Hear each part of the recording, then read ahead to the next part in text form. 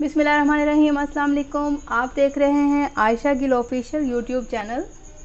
आज मैं आपको समोसा के साथ खाए जाने वाली चने की चटनी जो है, उसकी रेसिपी बताऊँगी कि इसके साथ जो चने बनाए जाते हैं, वो किस तरह से बनाए जाते हैं।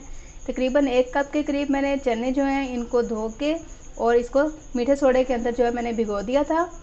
और उसके बाद तकरीबन डेढ़ दो घंटे भीगने के बाद मैंने इनको उबाल लिया था। और जिस पानी में मैंने इसको उबाला है, ये उसी पानी में अभी भीगे हुए हैं।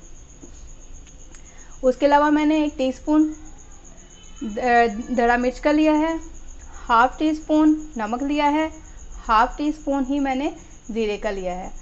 ऑयल वगैरह इसमें बिल्कुल भी नहीं जाएगा, ठीक है? तो आए चूल्हे की तरफ़। पैन को मैंने चूल्हे के ऊपर रख दिया है, अब मैं इसके अंदर ज़ीरा ऐड करूँगी, नमक, और ये दड़ा मिर्च जो है, ये मैं इसमें ऐड कर दूँगी। ऑयल वगैरह इसमें कोई चीज़ भी नहीं जाएगी। चनों को मैं हल्का हल्का चम्मच के साथ इस तरह से थोड़ा थोड़ा मैश करूँगी।